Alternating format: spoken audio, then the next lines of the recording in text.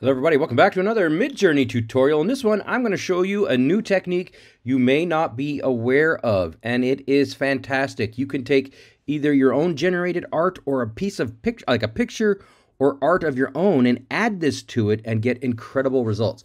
Very simply, I want to show you how to work with emojis. That's right, emojis work with Midjourney. It's kind of crazy. If I type in imagine and I go ahead and I, let's say I just pump, I'm just going to use any old emoji. I'm going to click on this emoji button here at the bottom right, and then I'm going to have a dog, and I'm going to have a snowman, and I'm going to have a brain, and then I'm going to just go ahead and whatever. I mean, just click on these three random kind of emojis. It's going to go ahead and create some really cool stuff. While this processes, I want to show you a really cool technique one that I actually really enjoy using because it, you know, I got a dog. So here you go. I'm going to go grab a picture of my puppy dog Kingston and I'm just going to drag and drop him into the Midjourney and then hit enter. When I do that, you'll see here, here's my puppy dog. I'm just going to right click on his face and I'm going to copy that link. Now watch this.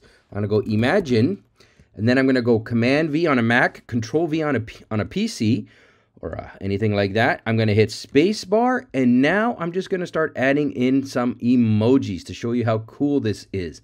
I'm going to add in a heart emoji and I'm going to add in a dog emoji and we'll go with that for now, okay? Well, actually, you know, let's just go with the heart emoji because this is a really cool one. Um, now, while I do that and this one runs, let's look at what we got on our first one. This was just three emojis. It's a dog, it's a snowman and it's a brain. And what did we get? We got this cool, cool set of images. Look at this, this cool art. Look at that. We've got a dog kind of wrapped up in a in a mountain with the snow coming down, nice and bright.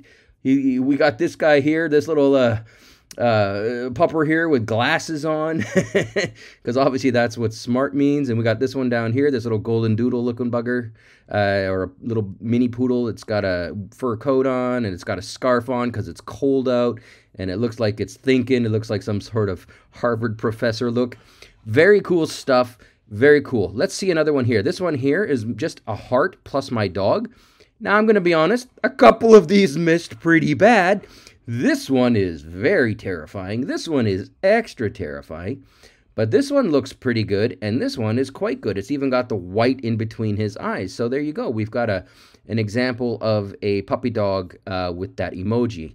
Now I'm going to show you a few other really good ones here. I, this is one that I had a bunch of. I had three hearts plus my dog, and you've already seen my dog, and this is what it gave me. This is the upscaled version. Beautiful. This is a really nice picture. It got the white between his eyes and the brown on each side here, or the brindle between it. Wonderful stuff. Here is just two snowmen. Here's what we got. Another very cool image. I don't know. This looks like it might belong in some sort of James and the Giant Peach movie or something like that, but just ultra really cool stuff. This one's got a, well, this one's a little weird because it's got this person stuck to this snowman monster, but all this was was two snowmen. And the reason why this is interesting, in my personal opinion, is because it allows you to access new techniques, new styles, new outcomes that you can never really, you, you really don't know what you're going to get. Like here's here's my dog, and then I added in a dog emoji. So this is my dog Kingston plus the emoji, and I got this sort of weird set of cross my dog crossed with other types of dogs. So Again, uh, this is just what a dog emoji will give you. It just gave me four really cool shots of these four very different types of dogs. What do we got there? Cavalier or Charles King Spaniel. We got a Chihuahua. We got we got a golden retriever mix down at the bottom right there. Some really good stuff. So there you go, guys. This is just really, really cool stuff. Yeah, and let me show you the one last one that I really, really enjoyed. Oh, look at that. That looks like my boy Kingston, but he's all wrapped up. Oh, that makes my heart happy. Uh, one last one. I'm going to go into my Finder. I'm going to grab the really, really popular girl with a pearl earring. When I did this one, this was awesome, by the way.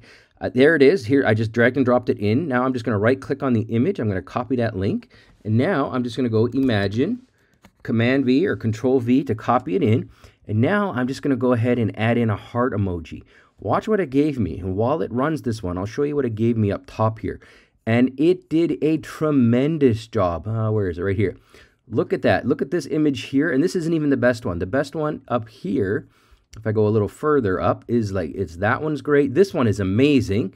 It's a little bit of Amber Alertish, if I'm being honest with you, but uh, made the uh, the girl look a little younger.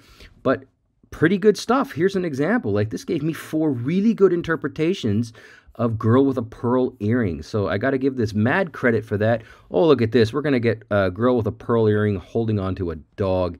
All right, I'm happy. I'm, I'm this this is this is how I'm to end the video. You can't get any better than that. Like, I mean, I don't know about you, but I click on that. We got this girl. The, the face isn't quite where I'd want it. I would run some variations on this one. But this on the bottom right is amazing. The top right is quite good. Bottom left is quite good. I would, if this was me, I would U4 and then I would V1 and I would just run that again. But that's all it is. Just add emojis to your art or to your prompts. You're going to get some amazing results. Put some comments down. Let me know if you've had any luck with this. Thanks for watching.